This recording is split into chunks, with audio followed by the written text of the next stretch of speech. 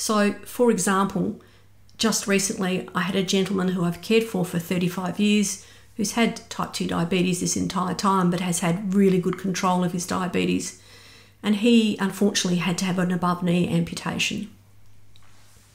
So, being able to change someone's diet and completely turn their life around, can completely tell, turn their physical well-being around in three months is just unbelievable. And once you've seen it, you can't unsee it.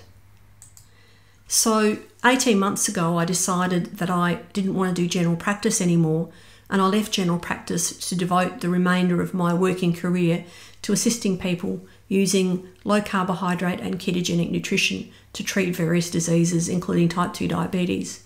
And together with dietitian Nicole Moore and health coach Jody Bund, we form a partnership with patients who come to see us and we assist them to achieve their goals, which are often related to improving metabolic health and reversing type 2 diabetes.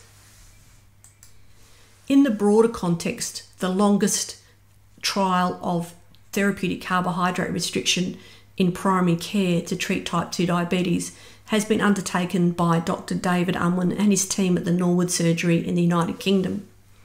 Over the last 10 years, the team has have been offering every patient with type 2 diabetes the opportunity of trialling a low carbohydrate diet. He has published his eight year data, and this is given in the reference at the bottom of the slide. However, he's very kindly agreed to share with me his 10 year data. So, over 10 years, this approach has been offered to 569 patients with type 2 diabetes, and of those, 47% or 258 have chosen to trial a low carbohydrate diet. And of them, 50% or 130 patients have achieved type 2 diabetes remission, and a remaining 47% have achieved improved control of their type 2 diabetes. So, in conclusion, if I had a patient sitting in front of me who had terminal cancer and I was counselling them about treatment options, and I had a treatment up my sleeve which simply required dietary change, uh, and with it, that I could achieve a 10 year remission rate of 50% and a 47% chance of improved control of the cancer.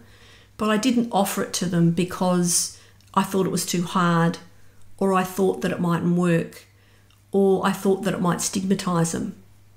How would that patient perceive me when they found out? In fact, how would they, their family and the rest of the community and my peers perceive me?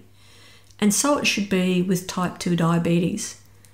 It is our professional and ethical responsibility to off, offer every person suffering with type 2 diabetes the opportunity of improving their diabetic control and in fact the opportunity of putting their diabetes in remission by offering them a, a therapeutic carbohydrate reduction or a low carbohydrate diet.